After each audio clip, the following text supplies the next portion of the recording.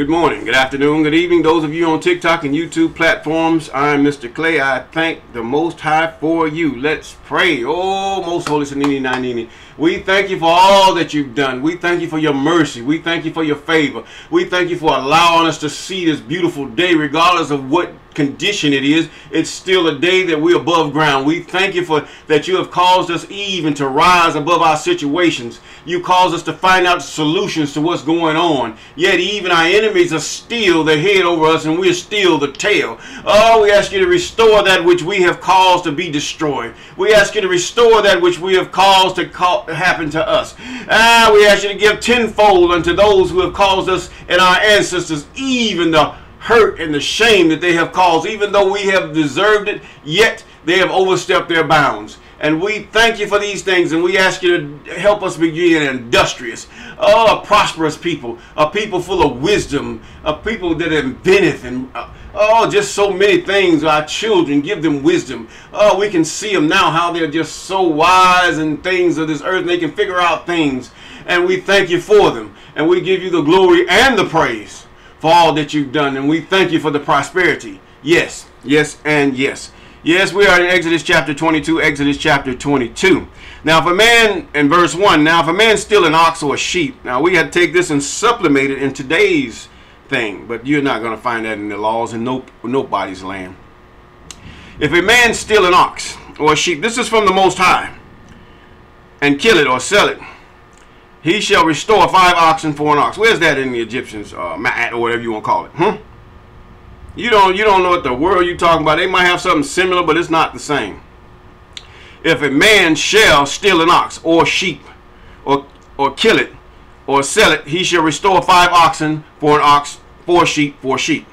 Well, that's fair. You you, you cause havoc. You cause pain and suffering. So why not even just just get it over with and just give what you have to give? And that is the judgment of the Most High.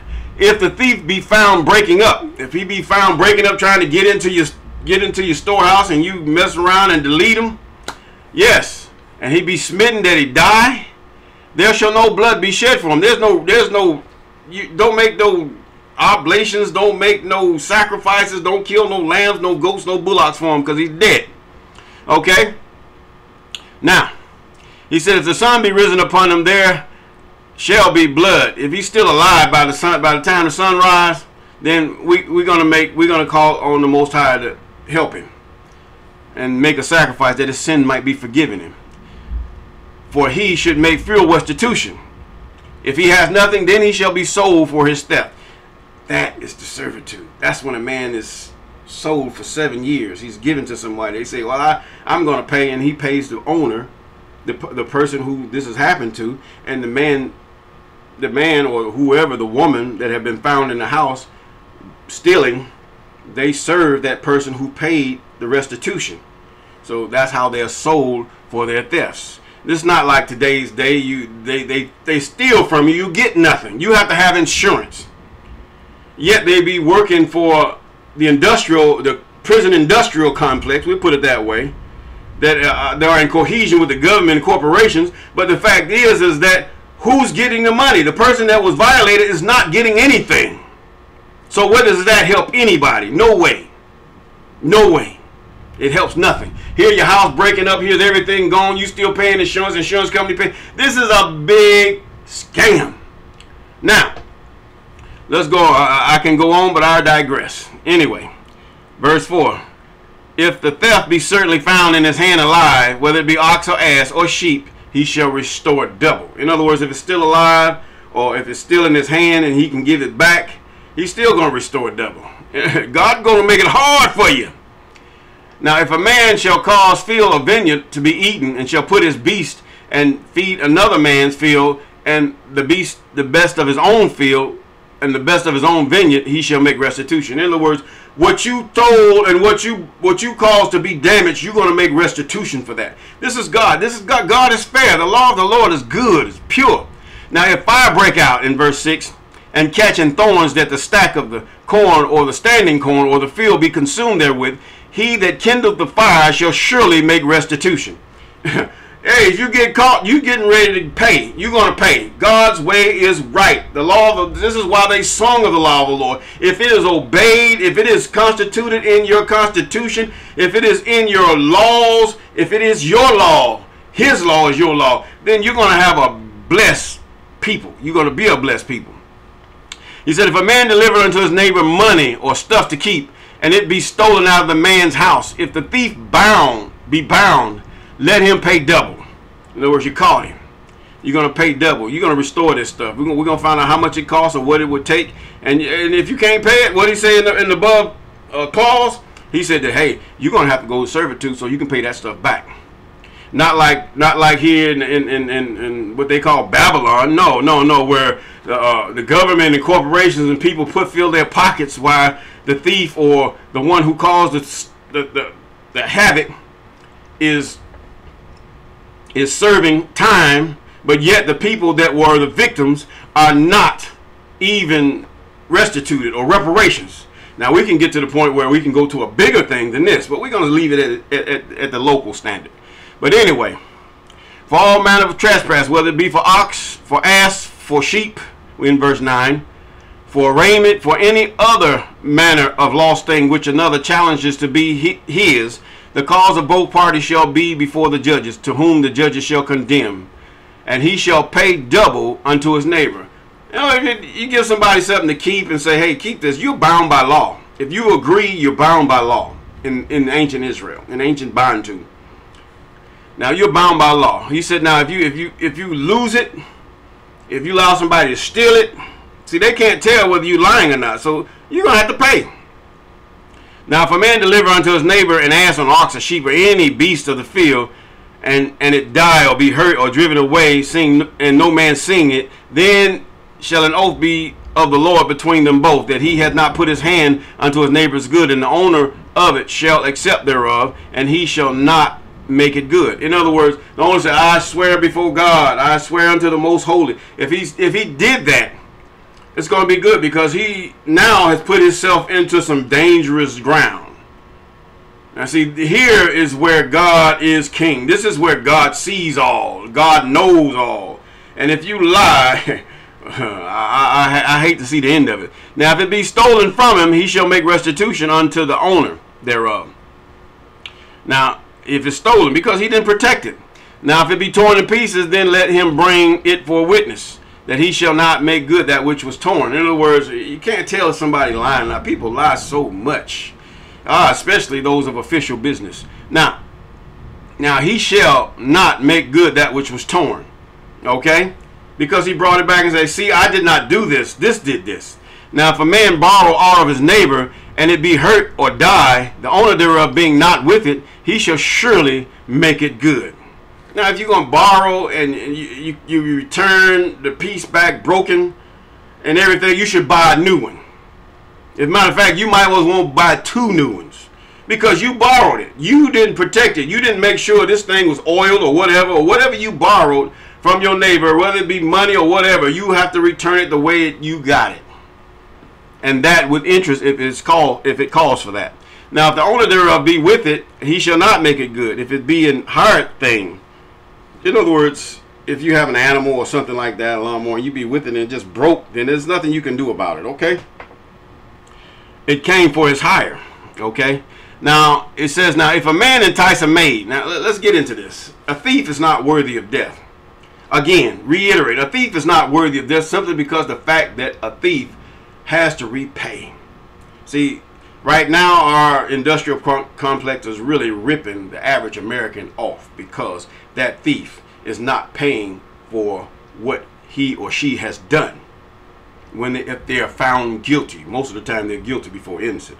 But anyway, if a man entice a maid that is not betrothed and lie with her, and he shall surely endow her to be his wife. Or is the bride price.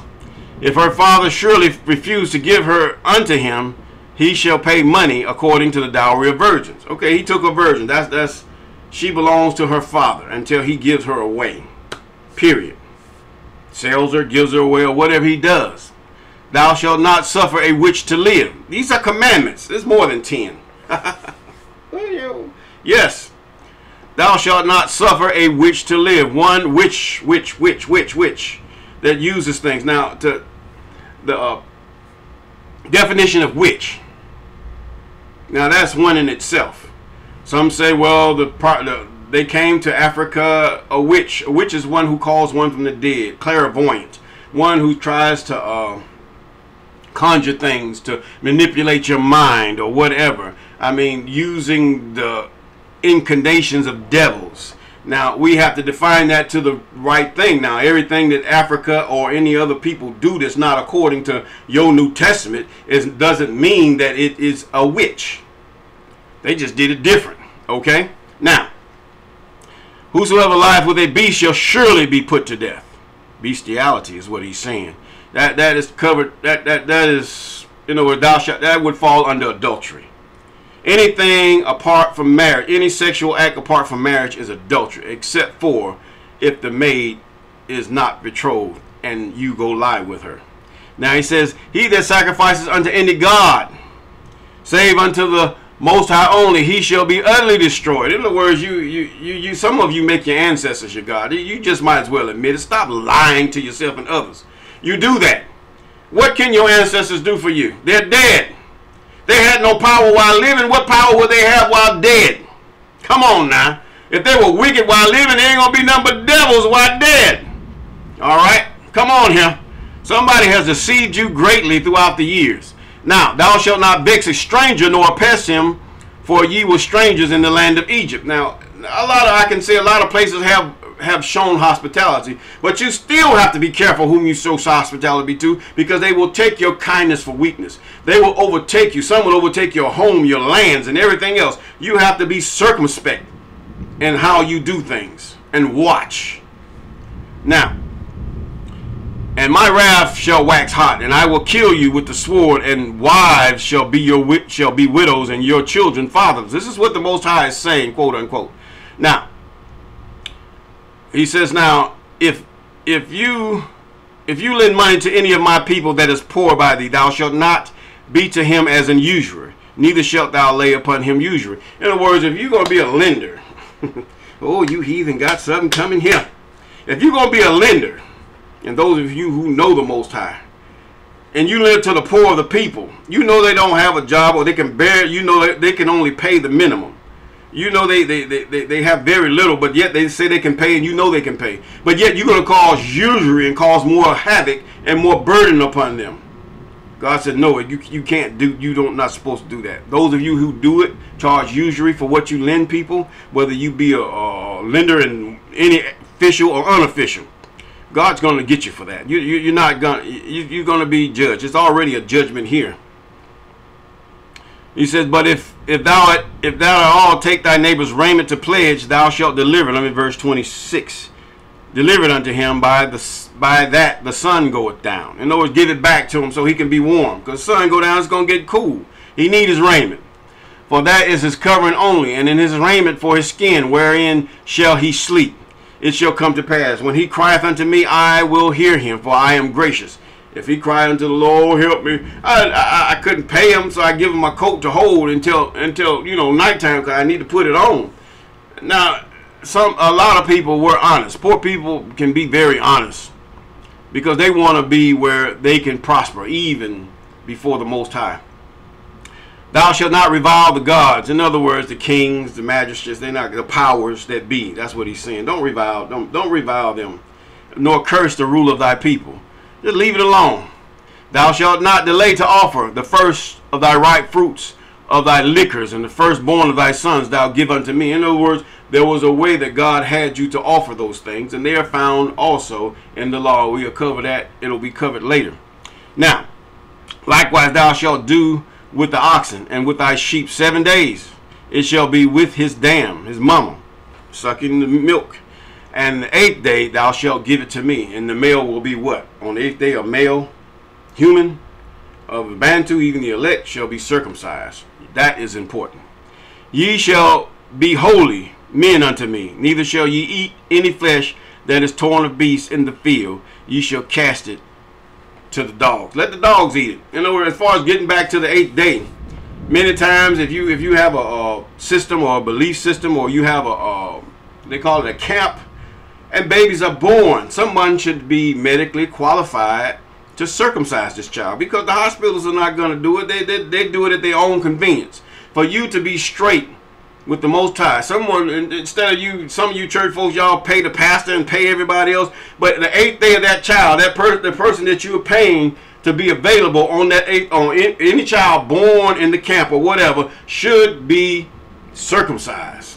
And not like they do. You don't you don't suck the blood off the baby's uh, private after circumcision that's not cool okay now he said and you shall be holy men unto me neither shall ye eat any flesh that is torn of beasts in the field you cast it to the dog. You're going to be clean. You're going to be clean. You're going to be holy. You're going to be righteous.